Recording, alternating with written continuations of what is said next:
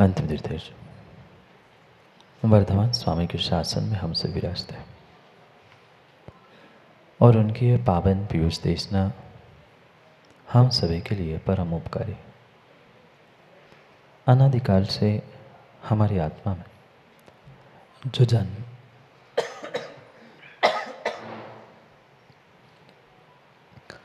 जो जन्म, जरा और मृत्यु रूपी रोग लगे। उन रोगों का उपशमन करने वाली कोई परम औषधि है? तो वह एकमात्र यह जिनवाणी भव्यात्मा ये जीवन एक गीत है। ये जीवन एक संगीत है। आप चाहो तो। आप चाहो तो आपका ये जीवन गीत बन सकता है। आप चाहो तो आपका ये जीवन संगीत बन सकता है। पर इस जीवन को गीत संगीत बनाने के लिए कुछ रीत भी तो आनी पड़ेगी। जीवन सबको मिला, एक मनुष्य को मिला, त्रियंश को मिला, देवनारक को भी मिला।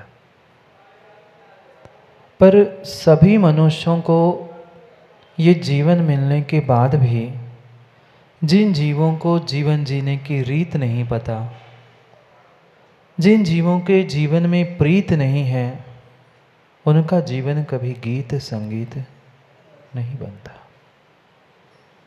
विरले ही जीव होते हैं, विरले ही जीव होते हैं, वे अपने जीवन को गीत संगीत में बदलते हैं, बाकी तो ढोल धमाका फटाके तो सबके घर में फूटते हैं।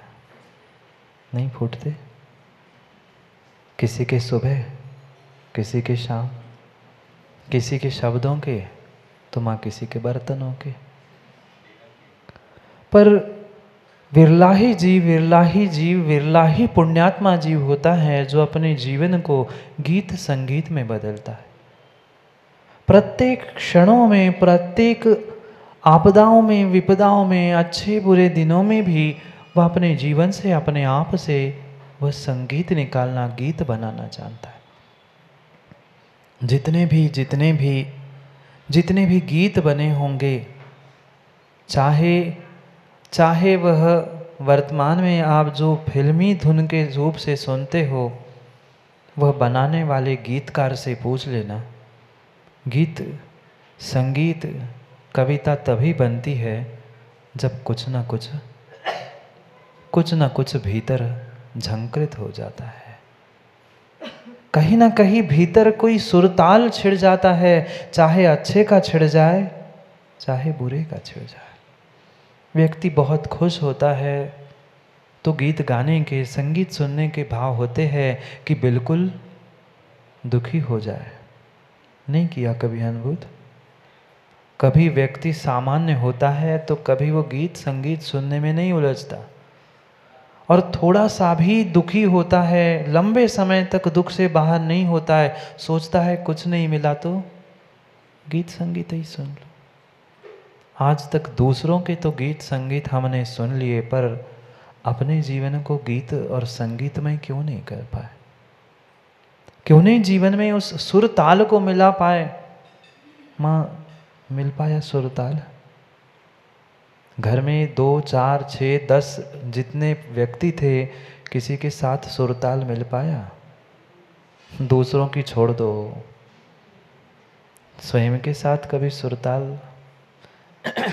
स्वयं के भावों के साथ, स्वयं की क्रियाओं के साथ कभी हम सुरताल मिला के उसका संगीत बना पाए? नहीं बना पाए। नहीं बना पाए, नहीं बना पाए वो ही बर्तन, वही सामग्री और उसी बर्तनों से व्यक्ति संगीत निकालता है। देखा कभी? ऐसे भी संगीत और ऐसे भी वाद्य है, वह पानी से भरा हुआ बर्तन, उस पर लकड़ी मार मार के वो संगीत बनाता है और आप क्या क्या मार चुके? दूसरे पे नहीं। दूसरे के तो सबको पता है किसने किस पे क्या मारा। पर अपने ही जीवन पे हमने कितनी लट चलाई? क्या कुछ नहीं चला पाए तरीका होता है। एक रीत होती है, एक नीति होती है, रीति होती है। जिस जीवों के जीवन में रीति और नीति पहुँचती है, वही अपने जीवन को गीत संगीत बनाता है। वही वही मिट्टी का बाउल जिसमें पानी था उसमें एक व्यक्ति वही हल्की सी लकड़ी फेर लेता है, वह धुन निकाल लेता है और एक उस पर वही लकड़ी मारता है और एक के दो टुकड़े कर देता है। हमारे साथ भी यही हुआ। हमारे साथ भी यही हुआ। जो जो हमारे साथ घटित हुआ, चाहे अच्छा हुआ, बुरा हुआ, जो हमें लकड़ी मिली, हम तो एक घाव, दो टुकड़े हैं। बस इतना ही हमने सीखा है। अपने जीवन को संगीत बनाना सीखो। जीवन से गीत निकालना सीख लो। वह वीणा भी होती है, वीणा भी होती है। वह बजाने वाला कितना समझदार। एक मात्र उस लोहे की चंद दो चार डोरियों से, तारों से वो कितना संगीत निकालता है? सुना कभी? एक मात्र वह लोहे की तार ही तो थी। लोहे की तार ही तो थी। पर कौन से समय में कौन सी तार पकड़ना, कौन से समय में कौन सी तार छेड़ना, ये कला थे क्या कभी ऐसा निर्णय हमने अपने जीवन में किया?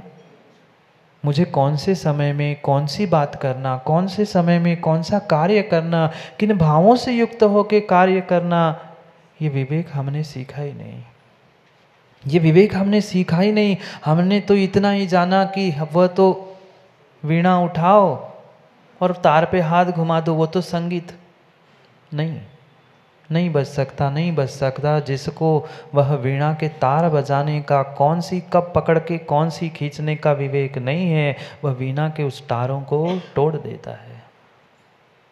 वीणा के उन तारों को तोड़ देता है और रोता है भी लगता है, मुझे तो मुझे तो उस दुकानदार ने ठग लिया। बहाना? मुझे तो दुकानदार ने ठग लिया। मैंने इतने पैसे दे के इतने पैसे दे के वीणा खरीदी थी। अरे वीणा खरीदने से काम नहीं होता, मनुष्य बनने से, देवशास्त्र गुरु मिलने से काम नहीं होता। उसमें से संगीत भी निकालना पड़ेगा। कब किसका कहाँ प्रयोग करना, ये विवेक, ये नीति रीति भी तो आना पड़ेगी।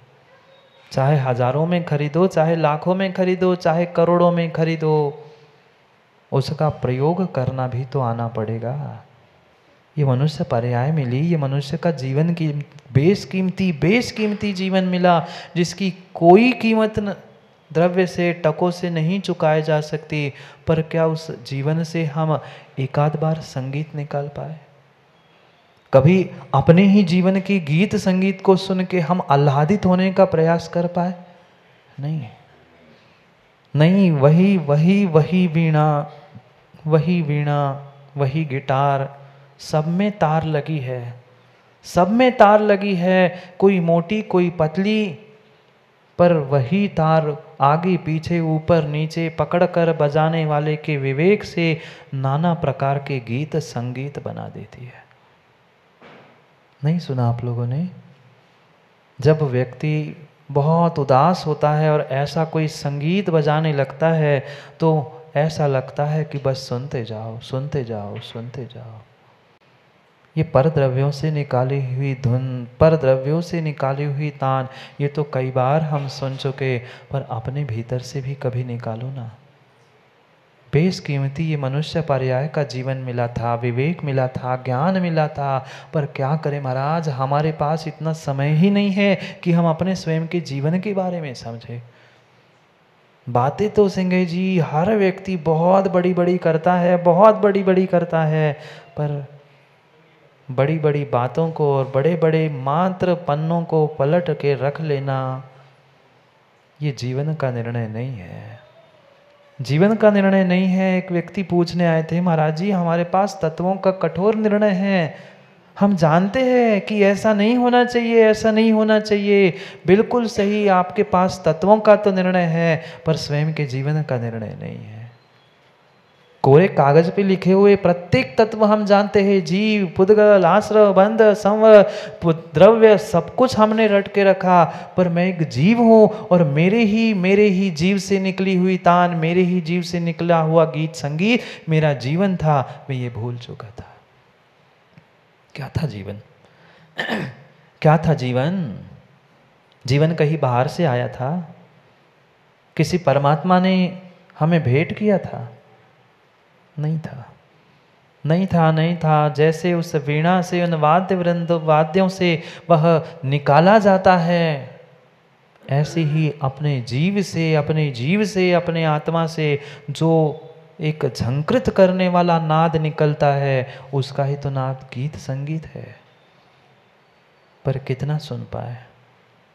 कितना प्राप्त कर पाए? हमें ये तक बोध नहीं है। कई सारे ऐसे जीव घूम रहे, कई सारे ऐसे व्यक्ति घूम रहे हैं, उनको इतना तक बोध नहीं है कि मैं एक जीव हूँ। मेरे भीतर चेतना है, मैं ही उस गीत बाहर के संगीतों का आनंद लूट रहा हूँ तो मैं भी कुछ बना सकता हूँ, मैं भी कुछ बन सकता हूँ, इसका विवेक ही नहीं है। कब सीखेंगे? कब सीखेंगे कब सीखेंगे? बचपन बीत गया, पचपन बीत गया, पचासी भी जाने को है। पचासी भी हाथ से जाने को है, छूटने को है, पर क्या कर पाए? क्या कर पाए, क्या कर पाए? जीवन की नीति रीति नहीं सीखी, जीवन जीने की कला नहीं सीखी तो ये मनुष्य पर्याय प्राप्त करना व्यर्थ है। बिल्कुल बिल्कुल व्यर्थ है। मात्र मात्र उस जीवन को, मनुष्य पर्याय को हम एक गति से दूसरी गति तक ढो रहे हैं। मनुष्य गति से तिरियन तिरियन से वहाँ। मात्र इतना ही आज तक अनंत काल से करते आए हैं। आगे भी बोलो ना, वही करना है। अगर नहीं समझे, अगर नहीं सुधरे तो विश्वास मानना, जो करते आए हैं, वही करना पड़ेगा। कभी तो कभी तो कभी तो वो भीतर की तान छेड़ लो। पर क्या करे महाराज, आपने तान कह दी तो हम तान के खड़े हो गए। हम तो तान की एक ही अर्थ समझते हैं। हम तो तान का एक ही अर्थ समझते हम तो तानते गए तानते गए। अपने आप को, दुनिया को, समाज को, घर को, परिवार को। उस तान की बात नहीं थी, भीतर के संगीत रूपी तान की बात थी। क्या करें? व्यक्ति तान तान कर, तान तान कर, तानना नहीं जानते? राम जी, तानना नहीं जानते? तानना हम जानते हैं, पर तानना नहीं जानते। तान तान कर, दूसरे को तान तान कर, दूसरे के काम में टांग टान तान कर। पता नहीं पता नहीं, हम अपने जीवन की तान भूल गए। हमें अपने जीवन की उस वीणा के भांति तान बजानी सीखनी थी। पर क्या करे? कसायों की क्रोध, अहंकार, मान, माया, पता नहीं कितने कितने कितने कसायों की तान प्रतिदिन हम छेड़ते रहे, वो भी दूसरों के कानों तक जाके। पर हम अपने जीवन की तान नहीं सुधर पाए, संभाल नहीं पाए। नहीं तानते ना, नहीं मानते ना, माँ नहीं जानते ना।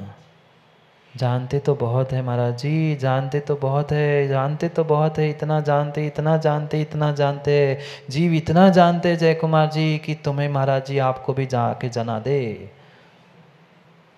आपको भी जना दू, इतने ज्ञान, इतना जानकारी, इतना ज्ञान हमारे पास है, पर जो जानते हैं, क्या उतना हम मानते हैं? नहीं मान पा रहे जो जान रहे हैं वो मान नहीं पा रहे हैं, क्योंकि क्योंकि हमने तानना सीखा है। मानना नहीं सीखा। माँ बोलो, ना मानते हैं? नहीं मानते। देव शास्त्र गुरु, सच्चे देव शास्त्र गुरु को तो हम मानते हैं, पर उनकी पर उनकी, बोलो ना, अब तो ना ही बोलना पड़ेगी।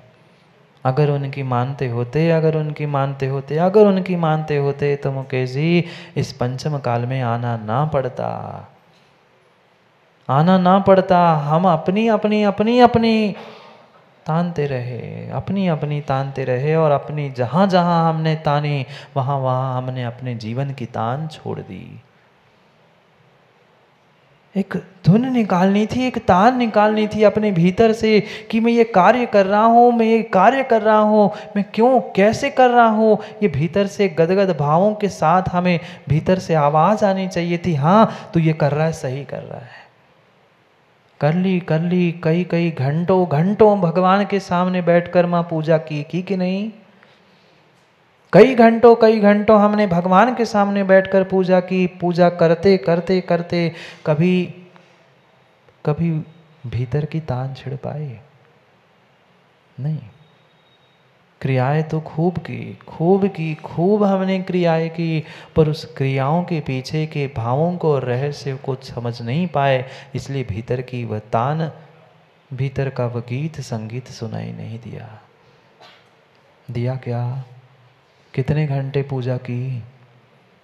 माँ गणित करो ना? आप कर लो गणित आप तो बहुत होशियार है। गणित करने में आज तक के 20, 25, 40, 50 वर्ष की उम्र में जितने साल पूजा की उन सालों में से दिन और दिन में से घंटे गुना करके गणित निकालो कितने घंटे पूजा की?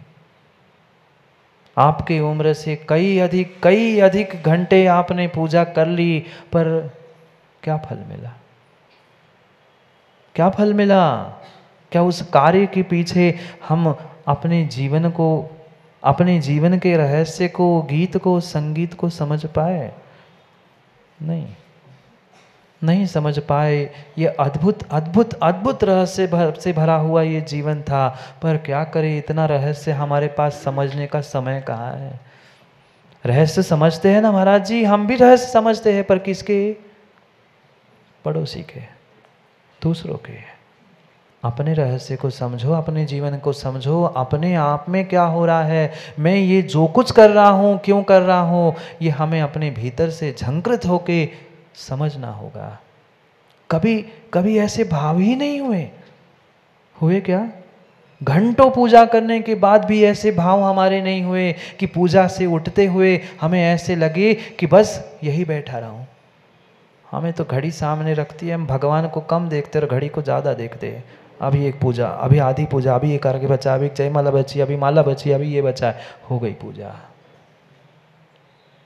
हाँ ऐसा ही है। ऐसा ही है, बिल्कुल ऐसा ही है, ऐसा ही है। मंदिर में वेदी पर कितने भगवान हैं, कितनी प्रतिमाएँ हैं, कौन से भगवान कहाँ है, ये कम पता होगा। पर कौन से दीवार पर कौन से रंग की घड़ी लगी है, ये सबको पता है। हाँ ऐसा ही है। अपने आप को झाँक लो, अपने आप को झाँक के देख लो, दूसरों को नहीं, अपने जीवन में झांको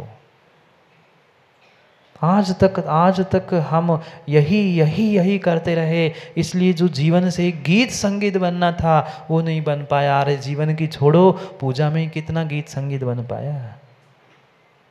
नहीं बन पाया। मंदिर के टेबल तोड़ देना, बर्तन फोड़ देना, इसका मतलब संगीत नहीं है, भक्ति नहीं है।